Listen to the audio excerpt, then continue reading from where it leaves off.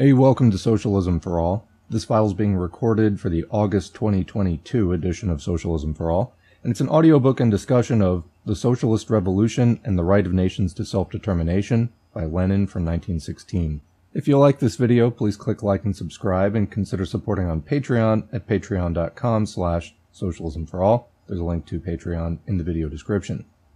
So this piece was written January and February 1916 it was published in April 1916 in the magazine Svoboda number 2, printed in Russia in October 1916 in Sbornik Sotsialdemokrata number 1. The source is Lenin Collected Works, Moscow, volume 22, transcription by Richard Boss, and HTML transcription and markup by D. Walters. It's in the public domain at the Lenin Internet Archive within the Marxists Internet Archive, marxists.org, Thanks as usual to MIA for hosting this and thousands of other free Marxist texts. So let's begin the audiobook.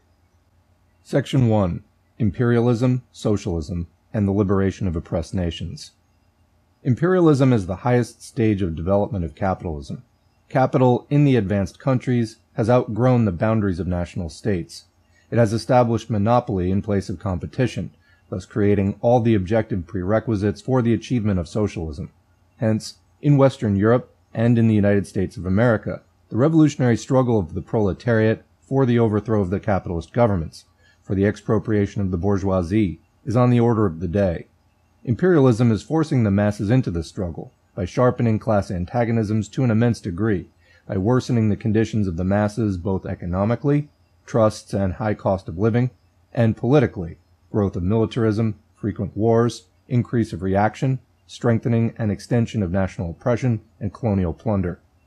Victorious socialism must achieve complete democracy and, consequently, not only bring about the complete equality of nations, but also give effect to the right of oppressed nations to self-determination, i.e. the right to free political secession. Socialist parties which fail to prove by all their activities now, as well as during the revolution and after its victory, that they will free the enslaved nations and establish relations with them on the basis of a free union, and, note, a free union is a lying phrase without the right to secession, such parties would be committing treachery to socialism. Of course, democracy is also a form of state which must disappear when the state disappears, but this will take place only in the process of transition from completely victorious and consolidated socialism to complete communism. 2. The Socialist Revolution and the Struggle for Democracy. The Socialist Revolution is not one single act, not one single battle on a single front, but a whole epoch of intensified class conflicts, a long series of battles on all fronts, i.e., battles around all the problems of economics and politics, which can culminate only in the expropriation of the bourgeoisie. It would be a fundamental mistake to suppose that the struggle for democracy can divert the proletariat from the socialist revolution, or obscure, or overshadow it, etc. On the contrary, just as socialism cannot be victorious unless it introduces complete democracy, so the proletariat will be unable to prepare for victory over the bourgeoisie unless it wages a many-sided, consistent, and revolutionary struggle for democracy. It would be no less mistaken to delete any of the points of the democratic program, for example, the point of self-determination of nations, on the ground that it is, quote, infeasible, or that it is, quote, illusory under imperialism. The assertion that the right of nations to self-determination cannot be achieved within the framework of capitalism may be understood either in its absolute economic sense or in the conventional political sense. In the first case, the assertion is fundamentally wrong in theory. First, in this sense, it is impossible to achieve such things as labor money or the abolition of crises, etc., under capitalism but it is entirely incorrect to argue that the self-determination of nations is likewise infeasible. Secondly, even the one example of the secession of Norway from Sweden in 1905 is sufficient to refute the argument that it is infeasible in this sense. Thirdly, it would be ridiculous to deny that with a slight change in political and strategical relationships, for example between England and Germany, the formation of new states, Polish, Indian, etc., would be quite feasible very soon. Fourthly, finance capital, in its striving towards expansion, will freely buy and bribe the freest, most democratic, and republican government and the elected officials of any country, however, quote, independent it may be. The domination of finance capital, as of capital in general, cannot be abolished by any kind of reforms in the realm of political democracy, and self-determination belongs wholly and exclusively to this realm. The domination of finance capital, however, does not in the least destroy the significance of political democracy as the freer, wider, and more distinct form of class oppression and class struggle. Hence, all arguments about the quote, impossibility of achieving, economically, one of the demands of political democracy under capitalism, reduce themselves to a theoretically incorrect definition of the general and fundamental relations of capitalism and of political democracy in general. In the second case, this assertion is incomplete and inaccurate for not only the right of nations to self-determination, but all the fundamental demands of political democracy are possible of achievement under imperialism only in an incomplete, in a mutilated form, and as a rare exception, for example, the secession of Norway from Sweden in 1905. The demand for the immediate liberation of the colonies, as advanced by all revolutionary social democrats, is also impossible of achievement under capitalism without a series of revolutions. This does not imply, however, that social democracy must refrain from conducting an immediate and most determined struggle for all these demands. To refrain would merely be to the advantage of the bourgeoisie and reaction. On the contrary, it implies that it is necessary to formulate and put forward all these demands, not in a reformist, but in a revolutionary way, not by keeping within the framework of bourgeois legality, but by breaking through it, not by confining oneself to parliamentary speeches and verbal protests, but by drawing the masses into real action, by widening and fomenting the struggle for every kind of fundamental democratic demand, right up to and including the direct onslaught of the proletariat against the bourgeoisie, i.e., to the socialist revolution, which will expropriate the bourgeoisie. The socialist revolution may break out not only in consequence of a great strike, a street demonstration, a hunger riot, a mutiny in the forces, or a colonial rebellion, but also in consequence of any political crisis, like the Dreyfus affair, the Zabern incident, or in connection with a referendum on the secession of an oppressed nation, etc.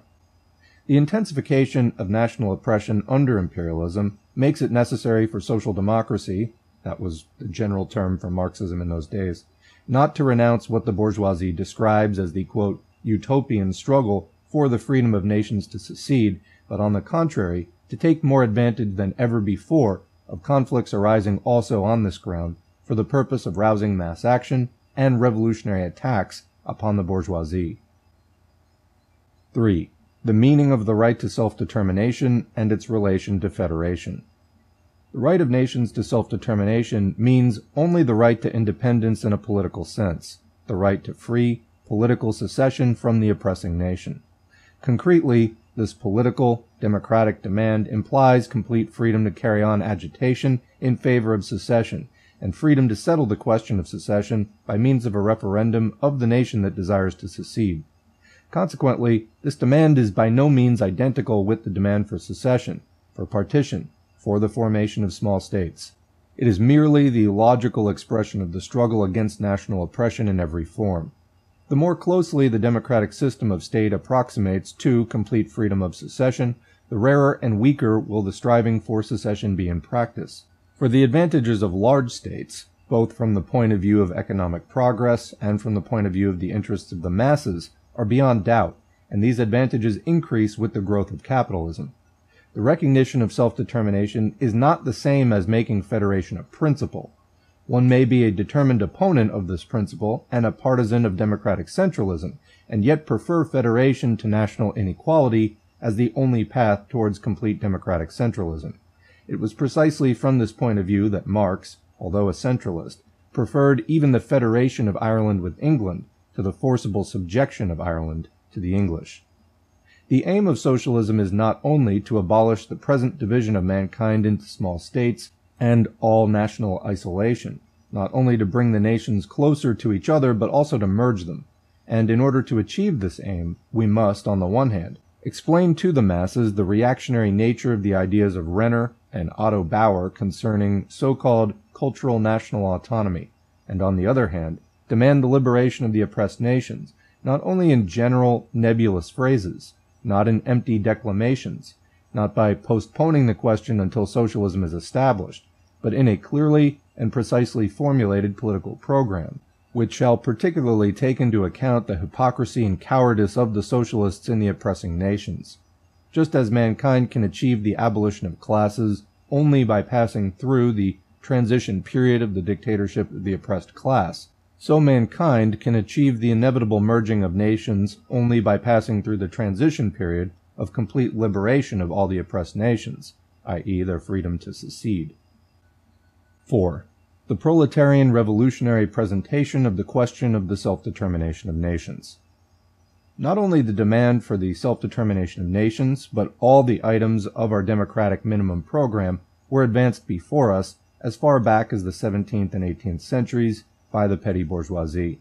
And the petty bourgeoisie, believing in peaceful capitalism, continues to this day to advance all these demands in a utopian way, without seeing the class struggle and the fact that it has become intensified under democracy. The idea of a peaceful union of equal nations under imperialism, which deceives the people, and which the Kautskyists advocate, is precisely of this nature. As against this Philistine, opportunist utopia, the program of social democracy must point out that under imperialism, the division of nations into oppressing and oppressed ones is a fundamental, most important, and inevitable fact. The proletariat of the oppressing nations cannot confine itself to the general hackneyed phrases against annexations and for the equal rights of nations in general that may be repeated by any pacifist bourgeois. The proletariat cannot evade the question that is particularly unpleasant for the imperialist bourgeoisie, namely the question of the frontiers of a state that is based on national oppression. The proletariat cannot but fight against the forcible retention of the oppressed nations within the boundaries of a given state and this is exactly what the struggle for the right of self-determination means. The proletariat must demand the right of political secession for the colonies and for the nations that, quote, its own nation oppresses. Unless it does this, proletarian internationalism will remain a meaningless phrase. Mutual confidence and class solidarity between the workers of the oppressing and oppressed nations will be impossible. The hypocrisy of the reformist and Kautskyan advocates of self-determination who maintain silence about the nations which are oppressed by their nation and forcibly retained within their state will remain unexposed. The socialists of the oppressed nations, on the other hand, must particularly fight for and maintain complete, absolute unity, also organizational unity, between the workers of the oppressed nation and the workers of the oppressing nation. Without such unity, it will be impossible to maintain an independent proletarian policy and class solidarity with the proletariat of other countries in the face of all the subterfuge, treachery, and trickery of the bourgeoisie. For the bourgeoisie of the oppressed nations always converts the slogan of national liberation into a means for deceiving the workers.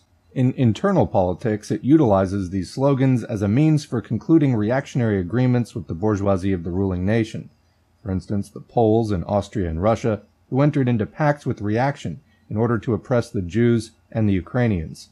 In the realm of foreign politics, it strives to enter into pacts with one of the rival imperialist powers for the purpose of achieving its own predatory aims, the policies of the small states in the Balkans, etc.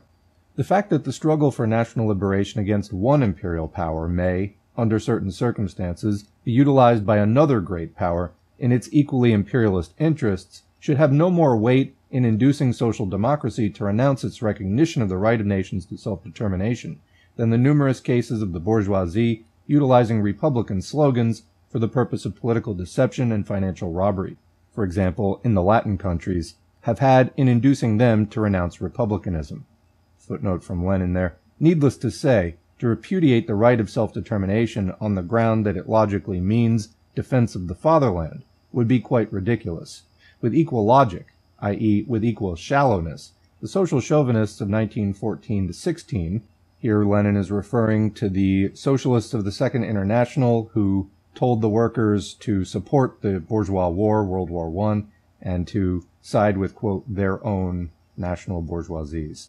Apply this argument to every one of the demands of democracy, for instance, to republicanism, and to every formulation of the struggle against national oppression in order to justify defense of the fatherland. Marxism arrives at the recognition of defense of the fatherland, for example, in the wars of the Great French Revolution and the Garibaldi Wars in Europe, and at the repudiation of defense of the fatherland in the imperialist war of 1914 16, from the analysis of the specific historical circumstances of each separate war, and not from some general principle or some separate item of a program. 5. Marxism and Proudhonism on the national question. In contrast to the petty bourgeois Democrats, Marx regarded all democratic demands without exception, not as an absolute, but as a historical expression of the struggle of the masses of the people, led by the bourgeoisie, against feudalism. There's not a single democratic demand which could not serve, and has not served, under certain conditions, as an instrument of the bourgeoisie for deceiving the workers. To single out one of the demands of political democracy, namely, the self-determination of nations, and to oppose it to all the rest is fundamentally wrong in theory. In practice, the proletariat will be able to retain its independence only if it subordinates its struggle for all the democratic demands, not excluding the demand for a republic, to its revolutionary struggle for the overthrow of the bourgeoisie. Comment. I'd just like to pause there for a minute. So Lenin is talking here specifically about the national question and the self-determination of nations, but let's take this principle in general because I think that it explains some of the confusion that, for example, SOCDEMs have about socialism and, you know, sort of uh, their buy-in to a lot of the um, talk about, quote, authoritarianism and things like that. I think that this paragraph really speaks to the heart of that controversy in question. So let's read it again. In contrast to the petty bourgeois Democrats, Marx regarded all democratic demands without exception not as an absolute, but as a historical expression of the struggle of the masses of the people, led by the bourgeoisie against feudalism. There is not a single democratic demand which could not serve, and has not served under certain conditions, as an instrument of the bourgeoisie for deceiving the workers. So to comment on that, in other words, this is, in a certain sense, the bourgeoisie's struggle first, because they're the ones who are going to benefit as the next ruling class after feudalism. Why deceiving the workers? Well, the workers could easily continue the struggle on, not just overthrowing feudalism, but also overthrowing capitalism. But the bourgeoisie doesn't want that, so they have to manipulate and deceive the workers into thinking that capitalism is the end of the line. Or that if you go further than that, it necessarily lapses into some sort of, quote, tyranny. Anyway, to continue, to single out one of the demands of political democracy, namely the self-determination of nations, and oppose it to all the rest, is fundamentally wrong in theory. So Lenin's saying that there are many demands of political democracy, self-determination of nations being one of them, and self-determination of nations is no different in terms of being an instrument of the bourgeoisie potentially for deceiving the workers. So that's wrong in theory and continuing in practice, the proletariat will be able to retain its independence, i.e. from the bourgeoisie. This is something we're really struggling with today, particularly in that SOCDEM world of uh, buying into bourgeois interests, basically. That's a poor example. You know, in other words, that's where the proletariat is not able to separate out and keep independent its own interests from those of the bourgeoisie. Confusion of interests and you get class collaboration there. Anyway, in practice, the proletariat will be able to retain its independence only if it subordinates its struggle for all the democratic demands, not excluding the demand for a republic, to its revolutionary struggle for the overthrow of the bourgeoisie.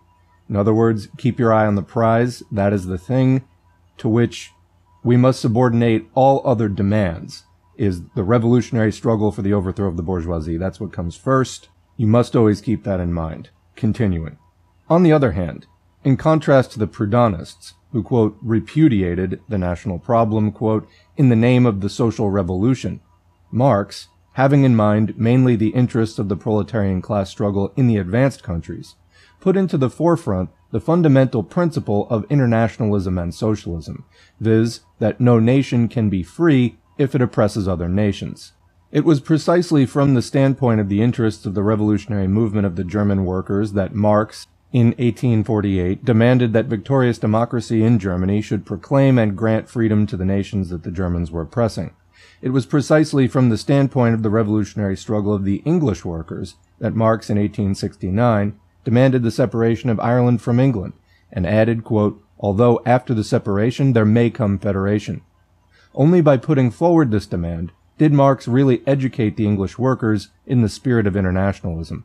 Only in this way was he able to oppose the revolutionary solution of a given historical problem to the opportunists and bourgeois reformism, which even now, half a century later, has failed to achieve the Irish reform. Only in this way was Marx able, unlike the apologists of capital who shout about the right of small nations to secession being utopian and impossible, and about the progressive nature not only of economic, but also of political concentration, to urge the progressive nature of this concentration in a non-imperialist manner, to urge the bringing together of the nations not by force, but on the basis of a free union of the proletarians of all countries. Only in this way was Marx able, also in the sphere of the solution of national problems, to oppose the revolutionary action of the masses to verbal and often hypocritical recognition of the equality and self-determination of nations. The imperialist war of 1914 to 16 and the Augean stables of hypocrisy of the opportunists and Kautskyists it exposed have strikingly confirmed the correctness of Marx's policy, which must serve as the model for all the advanced countries, for all of them now oppress other nations. There's a Lenin footnote there. Unfortunately, most of it is missing. It says reference is often made, e.g. recently by the German, and then most is missing, and it says defend the latter, and then the rest is missing. 6. Three types of countries in relation to self-determination of nations. In this respect, countries must be divided into three main types. First, the advanced capitalist countries of Western Europe and the United States of America. In these countries, the bourgeois, progressive, national movements came to an end long ago. Every one of these, quote, great nations oppresses other nations in the colonies and within its own country. The tasks of the proletariat of these ruling nations are the same as those of the proletariat in England in the 19th century in relation to Ireland. Secondly, Eastern Europe, Austria, the Balkans, and particularly Russia. Here, it was the 20th century that particularly developed the bourgeois democratic national movements and intensified the national struggle. The tasks of the proletariat in these countries, in regard to the consummation of their bourgeois democratic reformation, as well as in regard to assisting the socialist revolution in other countries, cannot be achieved unless it champions the right of nations to self-determination. In this connection, the most difficult but most important task is to merge the class struggle of the workers in the oppressing nations with the class struggle of the workers in the oppressed nations. Let's read that last sentence again. In this connection, the most difficult but most important task is to merge the class struggle of the workers in the oppressing nations with the class struggle of the workers in the oppressed nations. Lenin is not saying that this is easy. He is recognizing it's difficult but also important. Thirdly, the semi-colonial countries like China, Persia, Turkey, and all the colonies, which have a combined population amounting to a billion. In these countries, the bourgeois democratic movements have either hardly begun or are far from having been completed. Socialists must not only demand the unconditional and immediate liberation of the colonies without compensation, and this demand in its political expression signifies nothing more nor less than the recognition of the right to self-determination, but must render determined support to the more revolutionary elements in the bourgeois democratic movements for national liberation in these countries, and assist their rebellion, and if need be, their revolutionary war against the imperialist powers that oppress them. 7. Social chauvinism and self-determination of nations. The imperialist epoch and the war of 1914 to 16 have particularly brought to the forefront the task of fighting against chauvinism and nationalism in the advanced countries. On the question of the self-determination of nations, there are two main shades of opinion among the social chauvinists, i.e. the opportunists and the Kautskyists, who embellish the reactionary imperialist war by declaring it to be a war, quote, in defense of the fatherland. On the one hand, we see the rather avowed servants of the bourgeoisie who defend annexations on the ground that imperialism and political concentration are progressive and who repudiate the right to self-determination on the ground that it is utopian, illusory, petty bourgeois, etc. Among these may be included Cunow, Parvus, and the extreme opportunists in Germany, a section of the Fabians and the trade union leaders in England, and the opportunists, Semkovsky, Liebman, Yurkevich, etc. in Russia. On the other hand, we see the Kautskyists, including Vandervelde, Renaudel, and many of the pacifists in England, France, etc. These stand for unity with the first mentioned group, and in practice their conduct is the same in that they advocate the right to self-determination in a purely verbal and hypocritical way. They regard the demand for the freedom of political secession as being, quote, excessive, zu viel verlangt, too much longed for, too much desired, quoting Kautsky in Die Neue Zeit, May 21, 1915. They do not advocate the need for revolutionary tactics, especially for the socialists in the oppressing nations, but on the contrary, they gloss over their revolutionary duties. They justify their opportunism, they make it easier to deceive the people, they evade precisely the question of the frontiers of a state which forcibly retains subject nations, etc. Both groups are opportunists who prostitute Marxism and who have lost all capacity to understand the theoretical significance and the practical urgency of Marx's tactics, an example of which he gave in relation to Ireland. The specific question of annexations has become a particularly urgent one owing to the war. But what is an annexation? Clearly, to protest against annexations implies either the recognition of the right of self-determination of nations, or that the protest is based on a pacifist phrase which defends the status quo and opposes all violence, including revolutionary violence. Such a phrase is radically wrong and incompatible with Marxism. 8. The concrete tasks of the proletariat in the immediate future.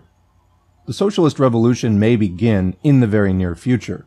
In that event, the proletariat will be faced with the immediate task of capturing power, of expropriating the banks, and of introducing other dictatorial measures.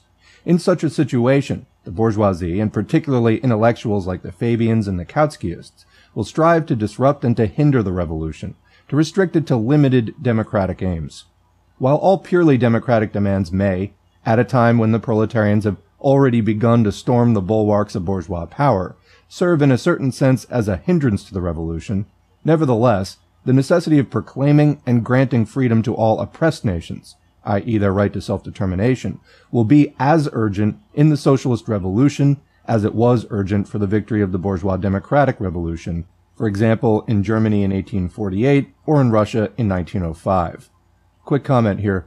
What does Lenin mean that while all purely democratic demands may at a time serve as a hindrance to the revolution, Lenin has written about this in other works, specifically when the possibility of socialist revolution, the abolition of capitalism, becomes possible, i.e. you are in an active revolutionary moment where the abolition of capitalism is actually within reach, a real option on the table in that moment.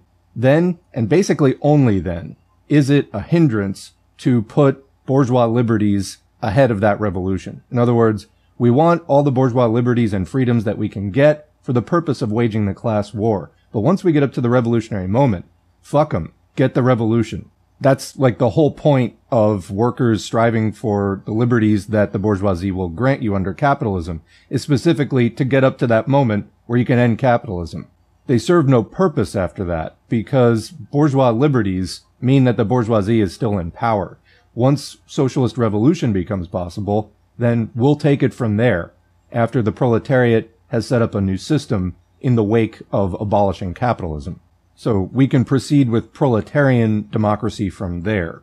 But what Lenin is saying is that the one bourgeois democratic right that will still be that important is the necessity of proclaiming and granting freedom to all the oppressed nations, i.e. their right to self-determination. He says, quote, it will be as urgent in the socialist revolution as it was urgent for the victory of the bourgeois democratic revolution, for example, in Germany in 1848 or Russia in 1905. So if when you're doing that socialist revolution, you're not proclaiming and granting freedom to all oppressed nations, you're fucking up your own revolution. It is, as Lenin says, a necessity and urgent. All right, continuing. However, five, ten, and even more years may pass before the socialist revolution begins. In that case, the task will be to educate the masses in a revolutionary spirit so as to make it impossible for socialist chauvinists and opportunists to belong to the Workers' Party and to achieve a victory similar to that of 1914 to 16.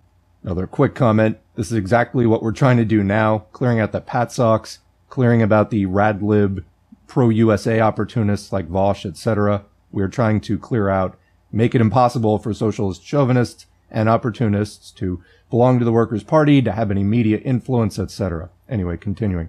It will be the duty of the socialists to explain to the masses that English socialists who failed to demand the freedom of secession for the colonies and for Ireland that German socialists who failed to demand the freedom of secession for the colonies, for the Alsatians, for the Danes, and for the Poles, and who failed to carry direct revolutionary propaganda and revolutionary mass action to the field of struggle against national oppression, who failed to take advantage of cases like the Zabern incident to conduct widespread underground propaganda among the proletariat of the oppressing nation, to organize street demonstrations and revolutionary mass actions, that Russian socialists who failed to demand freedom of secession for Finland, Poland, the Ukraine, etc., etc., are behaving like chauvinists, like lackeys of the blood and mud stained imperialist monarchies and the imperialist bourgeoisie.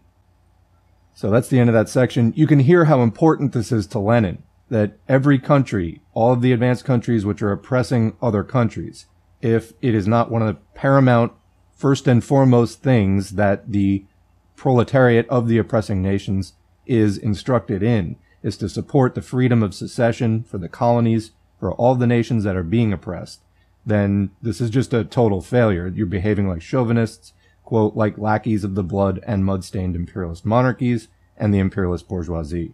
So I think that we are learning that lesson, but again, as we increase the organization, as we increase the education, etc., this is a point that is going to really have to be expounded on, emphasized, brought up in a hundred different ways over the course of subsequent years so that people really get the message, get many different examples of it, have exposure to many different discussions of particular situations. That's going to be really important.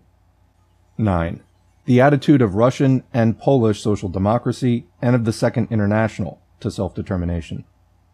The difference between the revolutionary social democrats of Russia and the Polish social democrats on the question of self-determination came to the surface as early as 1903 at the Congress which adopted the program of the Russian Social Democratic Labor Party, and which, despite the protest of the Polish Social Democratic delegation, inserted in that program point 9, which recognizes the right of nations to self-determination. Since then, the Polish Social Democrats have never repeated, in the name of their party, the proposal to delete point 9 from our program, or to substitute some other formulation for it. In Russia, where no less than 57%, i.e. over 100 million of the population, belong to oppressed nations, where those nations mainly inhabit the border provinces, where some of those nations are more cultured than the great Russians, where the political system is distinguished by its particularly barbarous and medieval character, where the bourgeois democratic revolution has not yet been completed, the recognition of the right of the nations oppressed by Tsarism to free secession from Russia is absolutely obligatory for social democracy in the interests of its democratic and socialist tasks. Our party which was re-established in January 1912, adopted a resolution in 1913, reiterating the right to self-determination and explaining it in the concrete sense outlined above. The orgy of great Russian chauvinism raging in 1914 to 16 among the bourgeoisie and the opportunist socialists, Rubanovich, Plekhanov, Nashe Dyelo, etc., prompts us to insist on this demand more strongly than ever and to declare that those who reject it serve in practice as a bulwark of great Russian chauvinism and czarism. Our party declares that it emphatically repudiates all responsibility for such opposition to the right of self-determination. The latest formulation of the position of Polish social democracy on the national question, the declaration made by Polish social democracy at the Zimmerwald conference, contains the following ideas. This declaration condemns the German and other governments which regard the, quote, Polish provinces as a hostage in the forthcoming game of compensations, and thus, quote, deprive the Polish people of the opportunity to decide their own fate. The declaration says, quote, Polish social democracy emphatically and solemnly protests against the recarving and partition of a whole country. It condemns the socialists who left the Hohenzollerns, quote, the task of liberating the oppressed nations. It expresses the conviction that only participation in the impending struggle of the revolutionary international proletariat in the struggle for socialism, quote, will break the fetters of national oppression and abolish all forms of foreign domination, and secure for the Polish people the possibility of all-sided, free development as an equal member in a League of Nations, unquote. The declaration also recognizes the present war to be, quote, doubly fratricidal, quote, for the Poles. There is no difference in substance between these postulates and the recognition of the right of nations to self-determination, except that their political formulation is still more diffuse and vague than the majority of the programs and resolutions of the Second International. Any attempt to express these ideas in precise political formulae and to determine whether they apply to the capitalist system or only to the socialist system will prove still more strikingly the error committed by the Polish Social Democrats in repudiating the self-determination of nations. The decision of the International Socialist Congress, held in London in 1896, which recognized the self-determination of nations, must, on the basis of the above-mentioned postulates, be supplemented by references to 1. The particular urgency of this demand under imperialism, 2. The politically conditional nature and the class content of all the demands of political democracy, including this demand, 3 the necessity of drawing a distinction between the concrete tasks of the Social Democrats in the oppressing nations and those in oppressed nations. 4. The inconsistent, purely verbal, and therefore, as far as its political significance is concerned, hypocritical recognition of self-determination by the opportunists and Kautskyists. 5. The actual identity of the chauvinists and those social democrats, particularly the social democrats of the great powers, such as the Great Russians, Anglo-Americans, Germans, French, Italians, Japanese, etc., who failed to champion the freedom of secession for the colonies and nations oppressed by, quote, their own nations. 6. The necessity of subordinating the struggle for this demand, as well as for all the fundamental demands of political democracy, to the immediate revolutionary mass struggle for the overthrow of the bourgeois governments and for the achievement of socialism. To transplant to the international the point of view of some of the small nations, particularly the point of view of the Polish Social Democrats, who, in their struggle against the Polish bourgeoisie, which is deceiving the people with nationalist slogans, were misled into repudiating self-determination would be a theoretical error. It would be the substitution of Proudhonism for Marxism, and in practice, it would result in rendering involuntary support to the most dangerous chauvinism and opportunism of the great power nations. Editorial Board of Social Democrat, Central Organ of the RSDLP. Postscript. In Die Neue Zeit for March 3, 1916, which has just appeared, Kautsky openly holds out the hand of Christian reconciliation to Austerlitz, a representative of the foulest German chauvinism, rejecting freedom of separation for the oppressed powers of Habsburg Austria, but recognizing it for Russian Poland as a menial service to Hindenburg and Wilhelm II. One could not have wished for a better self-exposure of Kautskyism. That's the end of the piece proper. However, there is a companion piece, a note to the theses, Socialist Revolution and the Right of Nations to Self-Determination, written by Lenin around the same time. It goes like this. There is some similarity between the way mankind should arrive at the abolition of classes and the way it should subsequently arrive at the fusion of nations. Thus, only a transitional stage of dictatorship by the oppressed class leads to the abolition of classes, only the liberation of the oppressed nations and real eradication of national oppression leads to the fusion of nations, and the political criterion of this feasibility lies precisely in the freedom to secede. Freedom to secede is the best and the only political means against the idiotic system of petty states and national isolation, which, to mankind's good fortune, is being inexorably destroyed by the whole course of capitalist development.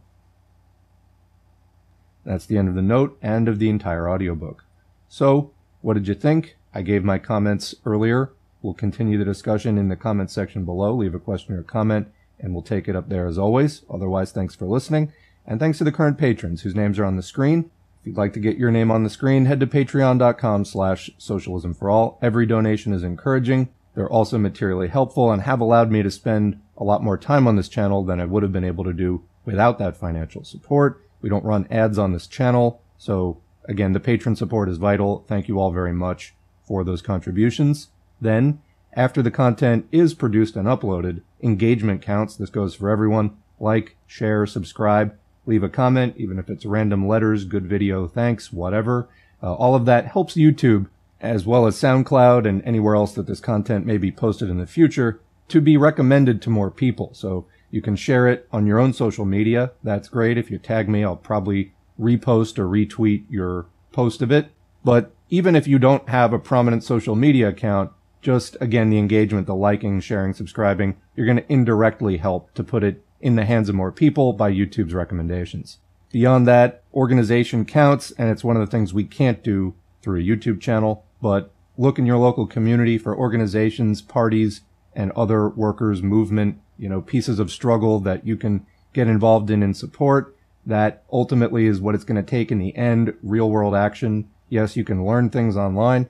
You can agitate and educate. The organizing, that happens out in meat space. It happens in many different forms. Labor unions, community unions, tenant unions, all kinds of other mutual aid support organizations, political parties, on and on. Get involved in what you can. If there's nothing immediately in your area, maybe you can contribute resources or just join on more of a statewide or national level at this point. and maybe in the future there will be more people in your area. But do look around and get involved in some organized activity. Thanks again for listening, and we will catch you in the next video.